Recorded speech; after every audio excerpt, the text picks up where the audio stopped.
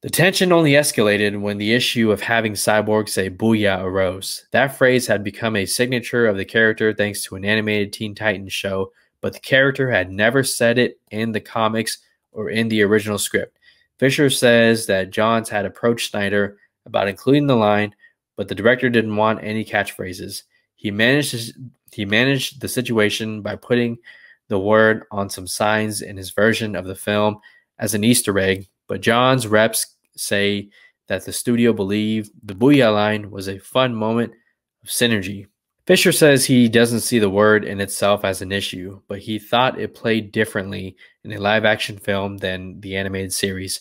And he thought of black characters in pop culture with defining phrases Gary Coleman's What You Talking About, Willis, Jimmie Walker's Dynamite, as no one else in the film had a catchphrase, he says. It seemed weird to have the only black character say that. With reshoots underway, Fisher and says Whedon raised the issue again. Geoff tells me Cyborg has a catchphrase, he told him. Fisher says he expressed his objections, and it seemed the matter was dropped until Berg, the co chairman of DC Films and a producer on the project, took him to dinner. This was one of the most expensive movies Warner's had ever made, Berg said. According to Fisher, what if the CEO of AT&T had a son or daughter, and that son or daughter wants Cyborg to say "booyah" in the movie, and we don't have a take of that? I could lose my job. Fisher responded that he knew if he filmed the line, it would end up in the movie, and he expressed skepticism that the film's fate rested on Cyborg saying "booyah," but he shot the take as he arrived on set he says, Whedon stretched his arms out and said a line from Hamlet in a mocking tone Speak the speech, I pray you, as I pronounced it to you. Fisher replied, Joss, don't. I am not in the mood. As he left the set, after saying just that one phrase for the cameras, he says, Whedon called out, Nice work, Ray. Time.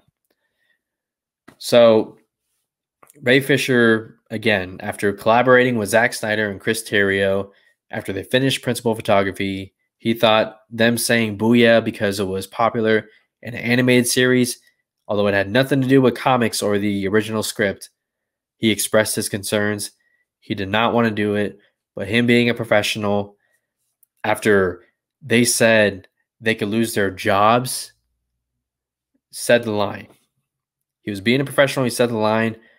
But as a fan myself, that's total bullshit. That's so. Oh my God, really? You could lose your job if you don't say booyah. When I'm pretty sure all of them were concerned about losing their job when AT&T was about to buy Time Warner. They're so full of shit. Oh my God, man.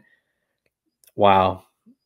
All because of the line booyah, which meant nothing in 2017's Justice League. S- seriously, Booyah, it meant nothing if you've seen the movie. Did it make Cyborg worse in Zack Snyder's Justice League because he didn't say Booyah? No, because nobody gave a fuck. Wow. We continue. Even before that line was shot, Fisher's agent had called Warner Film Studio chief Emmerich to raise concerns about what was happening on set. After Fisher arrived in Los Angeles for additional photography in summer 2017, Johns asked him to come to the DC offices in Burbank. When they met in a conference room, Fisher said he had apologized to Whedon for his part in the conflict, which he had done in hope of preventing a real rupture with the DC team. Johns responded that having agents call Emmerich was just not cool. Fisher recalls he said, I consider us friends, which he knew we were not.